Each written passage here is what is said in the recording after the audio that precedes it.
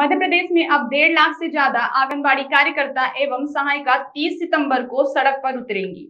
इससे प्रदेश भर में बीएलओ फाइलेरिया जनगणना, जन्म मृत्यु प्रमाण पत्र बनवाना, किशोर किशोरियों को आयरन सहित अन्य स्वास्थ्य सेवाएँ, पल्स पोलियो ड्रॉप, कुष्ठ उन्मूलन कार्य, टीबी मरीजों का चिन्हांकन एवं दवा सेवन कराने जैसे काम प्रभावित होंगी। मध्य प्रदेश आंगनबाड़ी कार्यकर्ता एवं सहायिका संघ की प्रदेश महामंत्री संगीता श्रीवास्तव और मध्य प्रदेश मजदूर संघ के प्रदेश अध्यक्ष संजय सिंह ने कहा कि अब पानी सिर से ऊपर उठ गया है।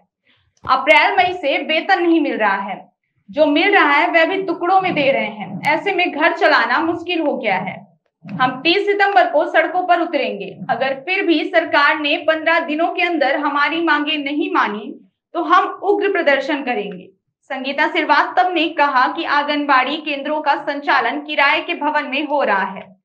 16 वर्ष से बच्चों का अनौपचारिक शिक्षा एवं 6 माह से 6 वर्ष के बच्चों को पोषण आहार उपलब्ध कराने का कार्य किया जाता है। महिला एवं बाल विकास विभाग के माध्यम से पिछले 35 वर्षों से आंगनबाड़ी के माध्यम से पूरी निष्ठा के साथ कार्य किया जा रहा है। शासन की सभी जनहित योजनाओं का हमारे माध्यम से ही कराया जा रहा है। सिर्फ़ दस हज़ार के मानदेय पर बिना किसी समय अवधि निर्धारण के अनवरत सेवाएँ दे रहे हैं।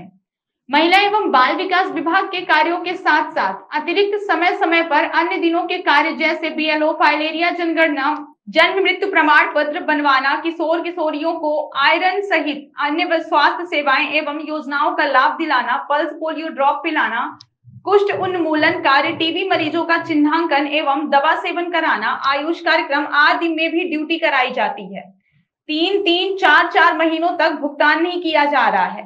सभी आंगनबाड़ी कार्यकर्ताओं, सहायिकाओं, मिनी आंगनबाड़ी कार्यकर्ताओं की आर्थिक स्थिति खराब हो गई है।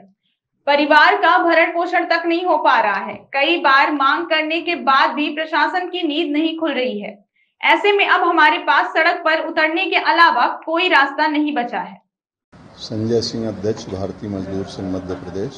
आज हम इस प्रेस वार्ता के माध्यम से मध्य प्रदेश सरकार को ये आगाह करने जा रहे हैं कि आंगनवाड़ी कार्यकर्ता सहायिका, जो मध्य प्रदेश एक समय मातृ शिशु मृत्यु दर में कुख्यात था, उसे अगर सम्मानजनक स्थिति में लाने का किसी ने काम किया है तो आंगनवाड़ी कार्यकर्ता सहायिकाओं ने किया है।